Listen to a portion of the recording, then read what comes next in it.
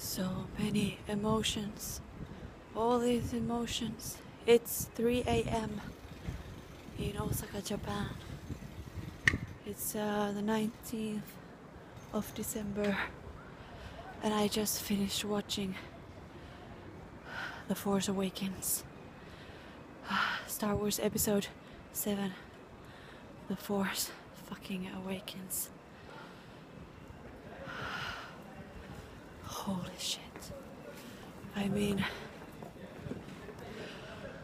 it was so overwhelming.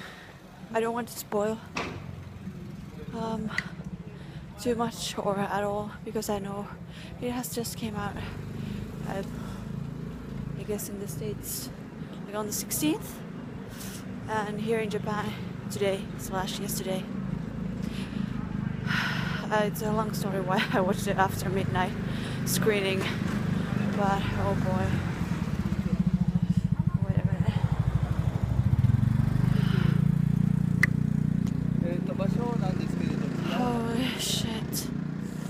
It was, I mean, my friend, when he saw the trailer, and when he saw Harrison Ford, he was crying.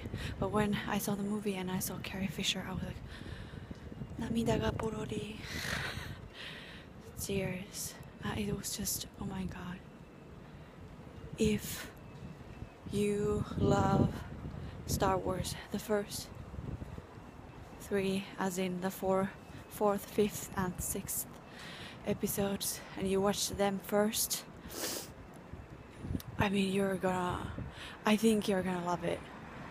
It's not. Really, it's not a crappy sequel. It's genuinely. I mean, there's some. I mean, uh, I don't know. It's not that there were bad, necessarily bad things, but I guess, you know, they want to leave it sort of open ish. But I don't know, you know, uh, if they make an episode 8 or 9. I, I don't know if I like that. You, well, I'm so confused. All these emotions, all these feelings. It's not all these feels. Feelings, not feels. Come on, people. The Force Awakens. I'm awake. 3 3 a.m. Holy shit. Well, tomorrow is um, a day off for me, so I don't give a crap. I know that sounds stupid. Okay. Anyway, soon I'll be home soon. So I'll just upload this and go to sleep. Okay.